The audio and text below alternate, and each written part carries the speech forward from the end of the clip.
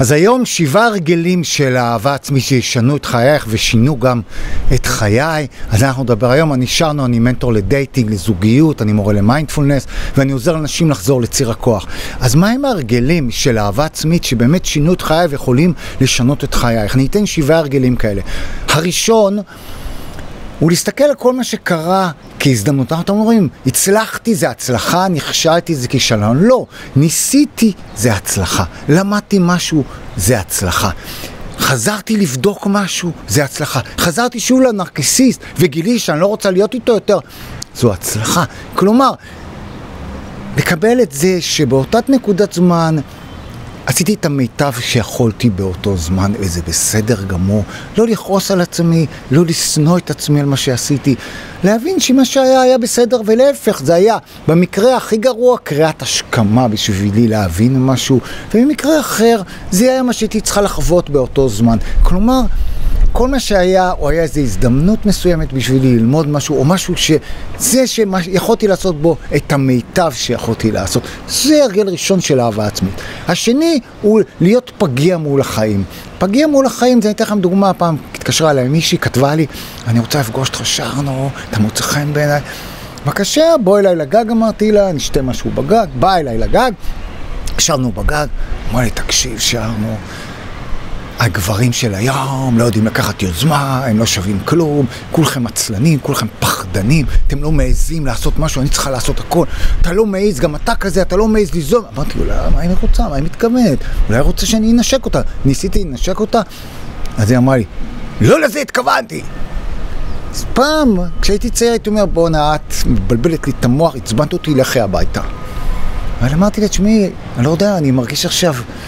קצת בבלבול, אני לא יודע מה לעשות, אני מרגיש uh, מוזר מאוד, ובאמת אני מרגיש איזה חולשה ובלבול. זה מה שרצית שאני ארגיש, זה מה שחיפשתי, אמרה לי, כן, ואז אנחנו נשתות תה, אמרתי לה, טוב, בוא נשתה תה והכל הסתדר בינינו והיה בסדר. אז למדתי להיות קצת יותר פגיע, פגיע זה להגיד, את נורא מצחן בעיניי ואני לא יודע מה להגיד ככה, פתאום נעלמו לי המילים, זה בסדר. להיות פגיעה מול החיים, זה לא אומר לו לשים גבולות, תכף נדבר על זה, אבל זה להיות פגיעה, זה להביא את עצמי, להביא את הרגשות שלי, להיות מסוגלת להיות עם מגוון הרגשות שנמצאים בתוכי, ולא להחליט, אלא להבין שיש בי מגוון של רגשות ואני יכולה לעמוד פגיעה, להיות בזירה, אני לא עיתונאית, אני בזירה. אין לי שליטה על מה הולך לקרות, אבל יש לי את האומץ להיות פגיעה מול החיים, וזה מה שחשוב. אז להיות פגיע מול החיים זה לחוות יותר את החיים. לטוב ולרע, אתה חי יותר, אתה נוכח יותר, יש לך חיים עשירים יותר, אתה מרגיש יותר. אוקיי. שלוש, זה לתקשר את עצמי. לשאול את עצמי את השאלה, מה אני מרגיש עכשיו? תשאלי את עצמך, מה אני מרגישה בכל רגע? מה אני מרגישה עכשיו? יכול להיות מגוון של רגשות. דרך אגב, גורדייף, מיסטיקן רוסי של תחילת המאה, אומר, אדם מאוד, מאוד עמוק, שהשפיע מאוד, והוא אומר, כשאתה מתקדם בדרך הרוחנית, אתה מבין שיש לך מגוון של רגשות. וזה קשה, כי הם גם סותרים ביניהם, ואתה מוכן להיות שם מול כל הגר... הים הסוער הזה, ולצפות בו, ולאפשר אותו. אוקיי? אז לתקשר את עצמי זה לא להתחנן, זה לא ליילל, זה לא להתלונן, אלא זה לאפשר להגיד, אני כרגע, אני מרגיש, מרגישה מבולבלת, אני מרגישה מבוהלת, אני מרגישה נטושה, אני מרגישה כך, אני מרגישה כך. לא, אני מרגישה שאתה צריך, שימו לב להבדל. אני מרגישה שאני יכולה להיות נוכחת עם הרגשות שלי, לתקשר, וזה בסדר. כי זה שאני מתקשר, זאת אומרת, אני אוהבת את עצמי, מותר לי, אני נותן לעצמי אישור להיות באיפה שאני מרגישה. מאוד מאוד חשוב. ארבע, לשים גבולות. לשים גבולות זה היכולת להיות נאמן לעצמך או לעצמך כשהאחר לא מרוצה, כשהם עושים לך פרצוף. זה היכולת החשובה. לא כשהם מבסוטים. לא להגיד, אני רוצה שהם יבסוטים, אני אדבר איתו ושהוא יבין ויקבל. לא, הוא לא יקבל, הוא לא יהיה מרוצה, אבל אני אהיה נאמנה לעצמי. לזה קוראים גבולות. בגבולות אתה מרגיש הרבה פעמים אשמה, אתה מרגיש שהאחר לא מרוצה וקשה לך עם זה, במיוחד לפי הבית שגדלת בו, יכול להיות שגם זה מה שלימדו אותך, שחייבים שהאחר יהיה מרוצה, אחרת יש אשמה נוראית.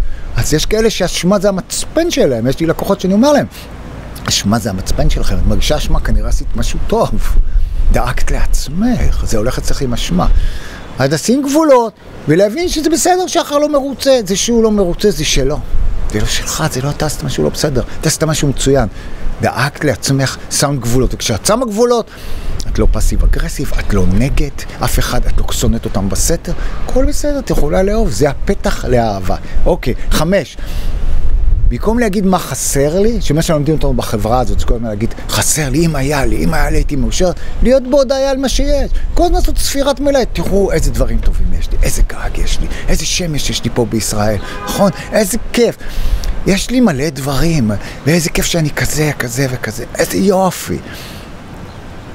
להודות על מה שיש ועל מי שאני. וככל שאנחנו מתעסקים בהודיה, נהיה לנו יותר, נהיה יותר שפע, יותר הבנדס. ככל שאנחנו מתעסקים במה שחסר, יש לנו תחושת, תחושת חוסר, תחושה של הישרדותית.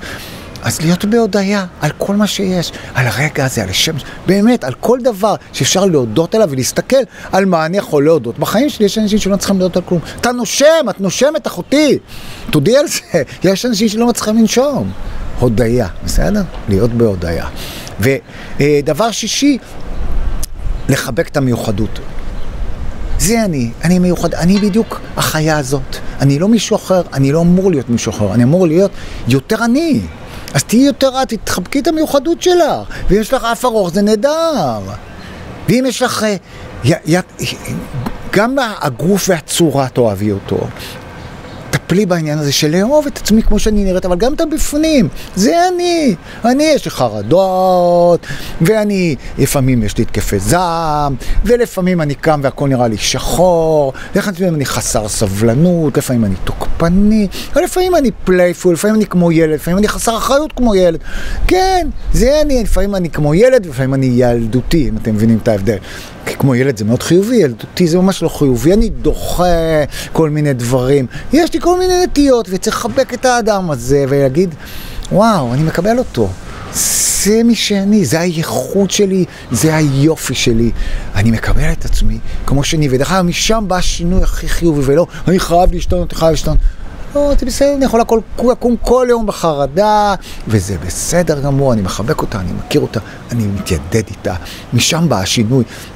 ולא, אני חייב להיות, אני צריך להיות, אז תחבקו את המיוחדות, את פרח משוגע, וזה הפרח שאת, ותאהבי אותו, חבקי אותו. ודבר אחרון חביב, והכי חשוב, לנוח רגע ברגע הזה. זה אהבה עצמית. לא להתעסק במה היה, במה... עכשיו אני. בדיוק כמו שאני, והמציאות בדיוק כמו שהיא, ואני יכול רגע לנוח בתוך הרגע הזה. המנוחה האמיתית תמיד ברגע הזה. כי בשנייה הזאת לא חסר לי דבר, אם אני לא בודק את העבר ואת העתיד, הכל בסדר.